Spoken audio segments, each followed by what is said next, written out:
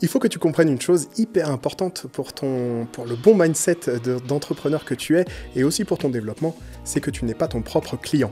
C'est la première chose qu'on m'a appris quand j'ai commencé mes études en marketing et en optimisation de, vente. Alors que ça paraît bien sûr évident, eh ben on va quand même parler de ça. Je te laisse t'installer, te préparer ton petit café et on est parti.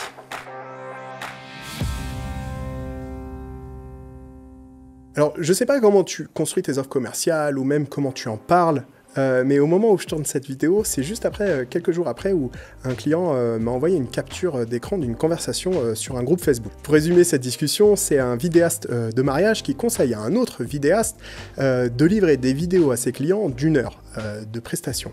Et la justification, en fait, est juste incroyable préparez-vous. Personnellement, t'as vraiment envie de payer 2000 euros une vidéo de 5 minutes? Alors à toi, si tu me regardes, on sait jamais, je pense qu'il est important pour ton business et surtout pour toi personnellement et le développement que tu as envie que prenne ta, voix et ton, ta passion de vidéaste, tu n'es pas ton propre client. Si ton client est prêt à payer 2000 euros une vidéo de 5, 3 ou même une minute, peu importe. Ce qui compte, c'est le résultat c'est pas la durée, mais c'est la qualité. Quand tu définis tes prix, euh, tu ne dois à aucun moment te poser cette question euh, est-ce que je peux m'offrir euh, ce service-là? Par exemple, est-ce que je suis prêt moi à mettre 4500 euros dans une matinée de photos? Non.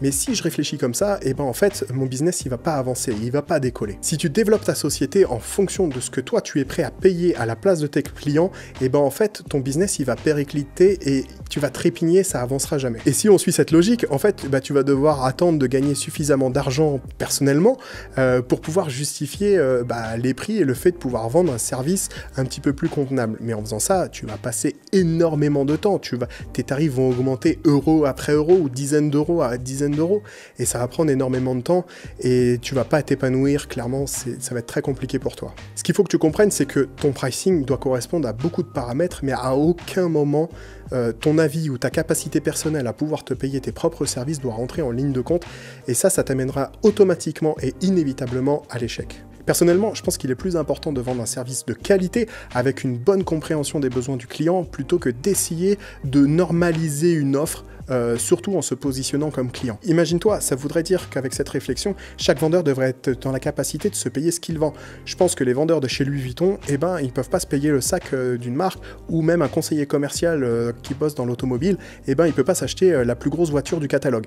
Eh ben, pour toi, c'est exactement la même chose. Si tu es un entrepreneur, ton métier est de vendre, d'entreprendre, de faire. Tu dois mettre en avant tes services, ton produit, avoir confiance dans ce que tu fais et pas de l'acheter. Alors si tu veux faire avancer ta vision d'entrepreneur, mais aussi faire grossir ton business euh, de prestataire de mariage, tu peux t'inscrire à la chaîne euh, si c'est pas déjà fait. Moi je vais continuer à te partager euh, plein de petites astuces, plein de petits conseils sur le mindset d'entrepreneur, sur les optimisations de vente, etc. aussi un petit peu d'outils de productivité pour te faciliter les choses. On va passer step by step euh, les caps ensemble de manière à pouvoir atteindre tes objectifs plus rapidement. On se retrouve euh, très prochainement pour une nouvelle vidéo sur les Wedding Talks. Je compte sur toi pour partager euh, bah, cette vidéo à ceux que ça pourrait intéresser. Me partager tes questions aussi en commentaire. Et nous, on se retrouve très bientôt. N'oublie pas, tu n'es pas seul. Allez, ciao